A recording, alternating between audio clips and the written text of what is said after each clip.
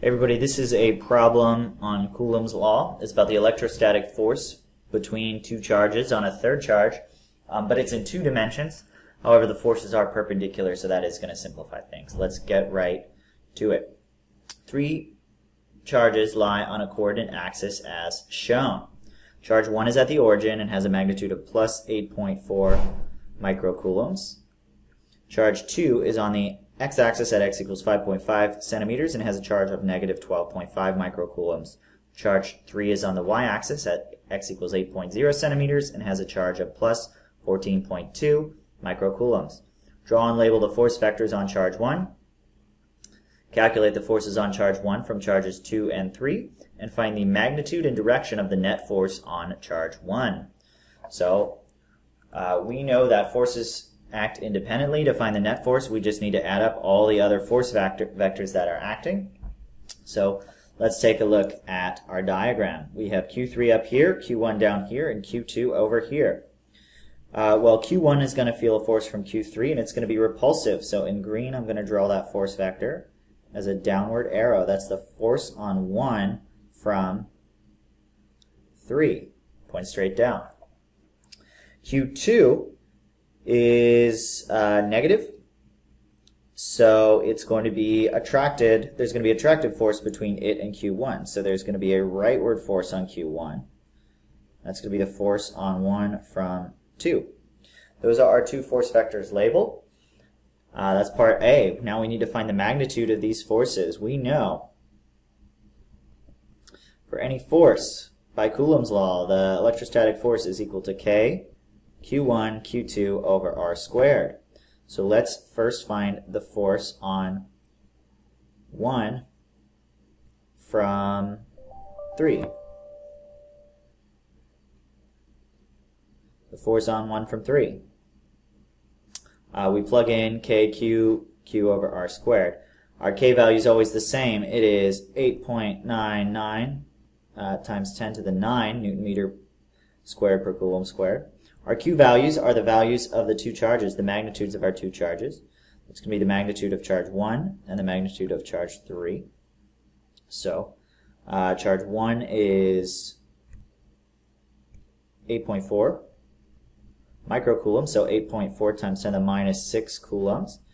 Charge 2 is 14.2 microcoulombs, or 14.2 times 10 to the minus 6 coulombs. And the distance is the distance between our two charges. Q1 is at uh, 0, Q3 is at 8 centimeters, so the distance is just 8 centimeters. Um, we need to convert that to meters, so that is 0 0.08 meters, and that distance is squared. And we get our force on 1 from 3, we get 8.99 times 10 to the 9. Plug it into a calculator times 8.4 times 10 to the minus 6 times 14.2 times 10 to the minus 6 divided by 0.08 squared. We get 168 newtons. And the direction is down, straight down. Uh, we're going to do the same thing for the force on 1 from 2. Uh, K is 8.99 times 10 to the 9. Q1 is still 8.4 times 10 to the minus 6 coulombs. And Q2 now is negative 12.5 times 10 to the minus 6 coulombs.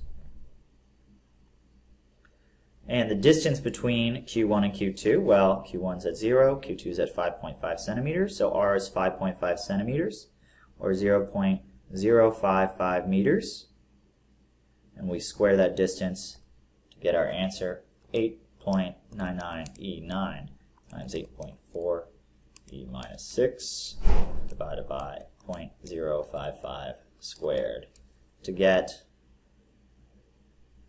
I do something wrong? Yes, I did do something wrong.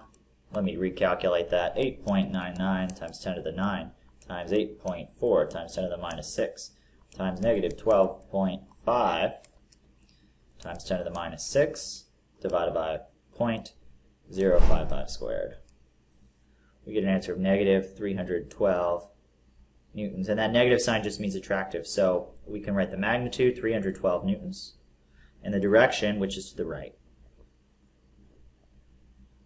Or in the positive x direction. So that's B. To find C, we need to find the magnitude and direction of the net force. Well, we know that the net force is just the vector sum of all the individual forces. Uh, F, sum of the forces. But it's the force vectors. So let's draw our uh, initial forces and connect them tail to tip. We have a downward force and a rightward force. This is the force on 1 from 2. This is the force on 1 from 3. And so our net force, which I'm going to do in blue, points down and to the right. That's F net. We need to find the magnitude of that net force and we need to find the direction. I'm going to use this theta here to find the direction. Um, the magnitude, we can just use the Pythagorean theorem because this is a right triangle. So F net is just going to be the square root of force 1, 2 squared plus force 1, 3 squared. That's the square root of 168 squared plus 312 squared. The magnitude of our net force equals 168 squared plus 312 squared to the 0.5 gives me 354 newtons. And then the direction, theta, I'm just going to use inverse tan, or arctan of opposite over adjacent. So F1, 2 over F1, 3. So that's inverse tan of 312 over 168.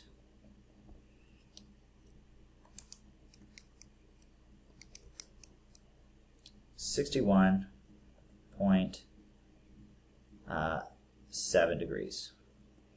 So to sum it all up, I'm going to scroll down a little bit and sum it all up. Um, actually, yeah, sum it all up. The net force on 1 is equal to 354 newtons at an angle of 61.7 degrees and we started from negative y and rotated counterclockwise. Counter clockwise from negative y. We could also write it as something like 29, uh, 29 degrees uh, below the positive x-axis, something like that. There's our answer. In summary, Find all of your individual forces. Find the vector sum to get the net force. That's all. Bye.